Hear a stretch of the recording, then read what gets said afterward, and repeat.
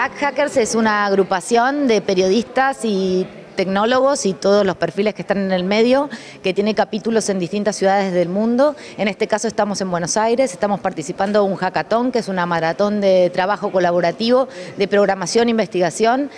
Eh, bajo la temática de la ruta del dinero. Este mismo evento se está realizando en 13 ciudades en simultáneo en toda Latinoamérica. Están reunidas unas 50 personas, de las cuales 40 están trabajando básicamente en tres equipos. Hay un equipo que está trabajando sobre la ruta del dinero dentro de la estructura del Estado. Hay otro equipo que está trabajando sobre el financiamiento de campañas políticas y hay otro equipo que está trabajando sobre lavado de dinero y transferencias al exterior. Todos los equipos están trabajando con datasets, o sea, set de datos públicos que proveen diferentes eh, organismos del Estado y algunos otros eh, datasets que durante el hackathon a necesidad de, los equipos se generan.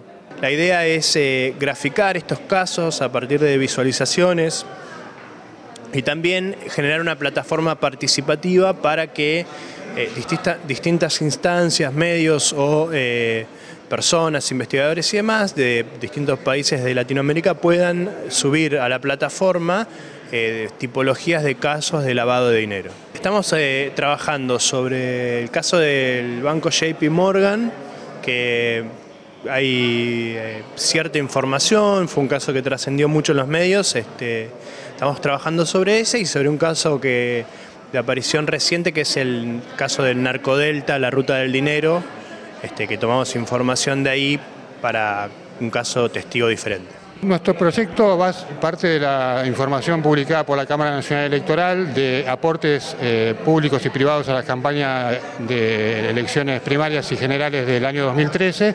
Lo que estamos buscando es con esa información detallada cruzarla con otras bases de datos de personas, eh, sea eh, datos fiscales, datos de sociedades, datos eh, de edad o de sexo, para hacer un perfil sociológico de los aportantes y sus relaciones con diferentes este, mm, agrupaciones o eh, colectivos. Nuestro proyecto lo que está buscando es poder hacer una caracterización adecuada del presupuesto público a partir del análisis de la información que publica la Oficina Nacional de Presupuesto.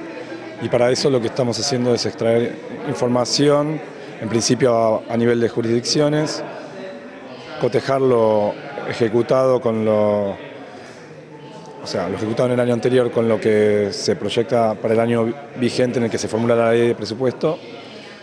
Y a partir de, digamos, de esas diferencias y del análisis de largo plazo sacar conclusiones y elegir en dónde profundizar, digamos, en qué área del presupuesto profundizar.